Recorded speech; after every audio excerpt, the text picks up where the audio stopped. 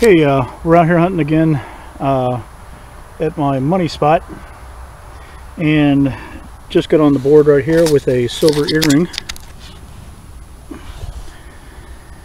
right here next to the bench. It's really heavy. It's really cool. We're on the board already. Been here for five minutes. Okay, right next to that uh, silver earring, just found another 10 euro piece. Well, I should say a 10 euro piece. is my first one for the day. But good find. Okay, six inches away from the last 10. Just got another 10 in the pocket. Yay! Okay, uh, just got another 10 euro cents right next to a bobby pin that I just dug right there.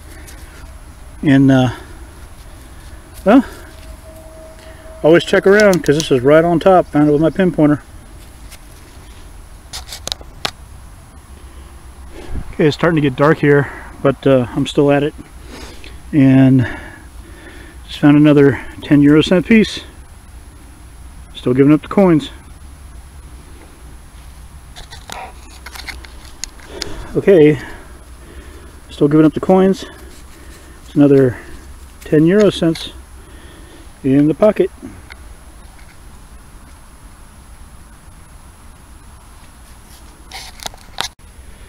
Okay, just got a real high 69.71 at about uh, six inches. And uh, pulled this out of the hole. And that is my friends another 10 Reichspfennig just so I can get a date on it Okay, I don't want to rub it too bad right now. But I just looked at my shovel and right next to him there is another coin of some sort. Um, can't really read it right now, but it's old because these two were right on top of each other. So I'll clean it up when I get home and let you know what it is. Okay, evidently there were three coins in that hole because I just passed over my hole right here with my uh, with my coil and just found this if you can see it right there. It's a third little coin. Can't tell what it is but I'll take it home and clean it up and let you know. It's got to be old. Okay right on the surface I got a 53 hit and I found a spoon it's uh, I'm not sure. It says 1810 Solingen, made in Germany. Could that be? Mm, I don't know. If that can be silver or not, but that'd be cool if it was. Well, cool, fine. Okay, I've moved a little bit and uh, got a really high hit, and look what I just found. 20 euro cents on the ground. And another 10 euro cents sitting right on the ground. Great finds. Okay uh, around this picnic table right here. Um, got a high repeating 71 went down about four inches and just found myself another 20 euro piece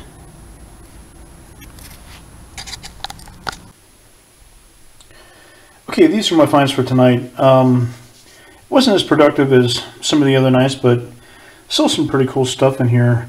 Uh, got this piece of copper, whatever it is, I don't know. Have these two buttons. I found two just like this one the other day. It's an aluminum wheel type button. If anybody can help me identify these, um, please uh, leave a comment. Uh, here is the the silver Menziel ring, and that is definitely silver. That is super heavy, and uh, I think I just might clean this up and wear it myself. Um, got um, 150 euro cent piece, um, two 20s, two, four, six 10s, uh, two Deutschmarks, um, four one Deutschmark pieces, three 50 Pfennig pieces. Got um, five, um, two Pfennig pieces, and look at the the patina on on on these. This is this really really cool. It's green and blue and black. Look at that. That- I think it's pretty pretty nice. I'm trying to think of something I can do to display these things in a cool way. I'll come up with something and let y'all know.